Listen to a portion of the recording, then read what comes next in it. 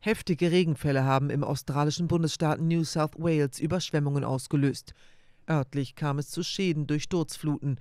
Mehrere Menschen mussten nach Angaben des Katastrophenschutzes von New South Wales aus Notlagen gerettet werden. Die Behörde warnte vor weiteren Niederschlägen und schweren Gewittern mit Sturm und Hagel im Nordosten des Bundesstaates. An der Südküste könnten innerhalb von 24 Stunden 200 bis 300 Liter Regen pro Quadratmeter fallen. Wie der nationale Wetterdienst mitteilte, sollen heftige Niederschläge am Donnerstag auch den Bundesstaat Victoria treffen. Zum Wochenende hin werde es dann aber trockener, so die Meteorologen.